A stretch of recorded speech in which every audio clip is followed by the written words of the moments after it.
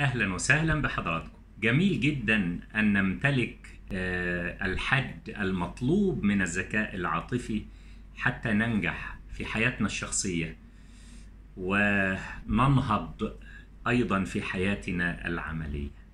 من المهم جدا لحضراتكم ولكل من يلتحق بمجال القيادة الإدارية أيا ما كان موقعه أو موضعه أن يمتلك سمات وصفات. أكيد في نظريات علم الإدارة في كلام كتير جدا وفي أبعاد بعضها بيكمل بعضه البعض. بعضها يرتبط بعلاقات تفاعلية بين الرئيس والمرؤوسين وبين المرؤوسين وبعضهم بعض. بعضها في علاقات شبكية وبعضها في علاقات ال- ال- ال- الذي يأمر لينفذ آه، أمره آه، كأنه نمط من أنماط الإدارة نمط تسلطي نمط ديكتاتوري آه، إن أريكم إلا ما أرى. هذه السمات وهذه الصفات الرئيسة التي يجب أن تكون موجودة لدى القيادة الإدارية أو موجود معظمها لدى حضراتكم علينا أن نركز فيها ونربطها بالذكاء العاطفي والذكاء الوجداني بشكل عام. الطموح والحماس في مقابل الفتور وعدم الاهتمام. تخيل إنك مهزوم نفسيا. تخيل والحرب النفسية حرب قائمة في المجتمعات وفي الدول وفي الصراع في ظل الحروب الباردة. اشتغل الإعلام على أن الشعوب تبقى نايمة وما تتحركش ومشغولة بلقمة العيش على حساب الحماس والطموح في الإبداع والنهوض والانتماء للأمة وللدولة وللمجتمع الذي أعيش فيه وللمؤسسة اللي بشتغل فيها. ما يبيعهاش كده من أول لحظة. فالطموح والحماس يجب أن يكون موجود لدى القائد. المنهجية في التفكير معناها العقل السليم في الجسم السليم معناها أن لديه القدرة على أن يفكر.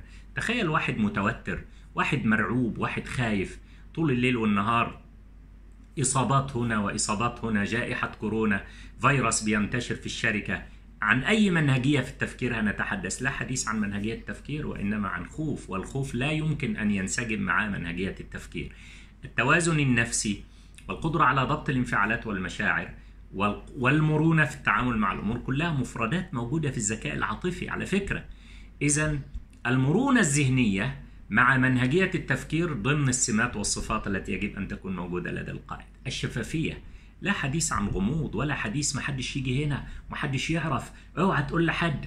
لا في شفافية والشفافية تعني القدرة على أن يتحمل الجميع المسؤولية وقدرة حضرتك أنك تتحمل مسؤولية ما تهربش. لماذا لا توجد شفافية؟ لأنه بيبقى في فساد. في المؤسسة. لماذا لا توجد شفافية؟ لأنه في مدير متردد وخائف من أنه يعني آه، أمامه أزمة أمامه مشكلة. المبادرة المبادر دائما يجب أن يكون موجود في سياق العمل المؤسسي كمدير أو كمسؤول. المبادرة يبادر دائما. إذا أردت أن تكون إمامي فكن أمامي فاكرين في أول حلقة وفي أول مقدمة ونتحدث فيها عن صف... محاور هذا البرنامج وتلك الدورة. التوازن النفسي أمر في غاية الأهمية. التوازن النفسي ما يبقاش منفعل في أوقات ومنبطح في أوقات أخرى. يتوازن وقت الضحك يضحك وقت الحزن يحزن. يراعي مشاعر الناس لديه سواء نفسي متوازن مع نفسه وصادق مع نفسه.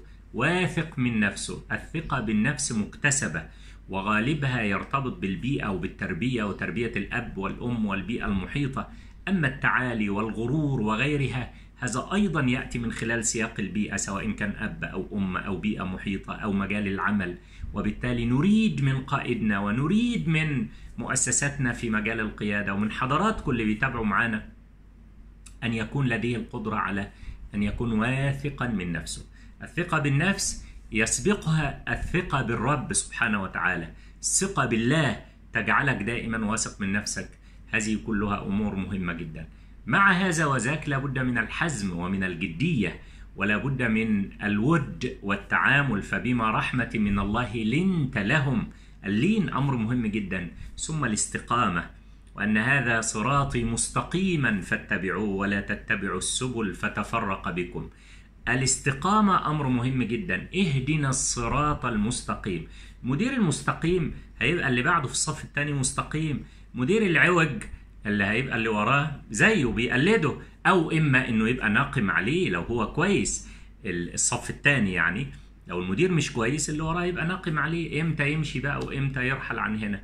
المدير أو القائد أحبائي الكرام الذي نريده هو أمين. لديه أمانة. ولديه مرونة ولديه قدرة وثقة في الآخرين. السمات والصفات التي طرحناها ما بين طموح وبين مرونة وبين ثقة بالنفس وثقة بالله ومبادرة ومبادئة وتوازن نفسي وأمانة وغيرها كلها مفردات بتستمد من سمات أصحاب الذكاء العاطفي الذي يجب أن يكون. عرفت إن اللي ذكي عاطفيا من المؤكد أنه يصلح بالدرجة الأولى أن يكون قائدا أحيانا أو مديرا في عمله وسنرى الفرق بين المدير والقائد وعلاقة الاثنين بالذكاء العقلي والذكاء العاطفي. نكمل سويا. في أمان الله. نلتقي على خير.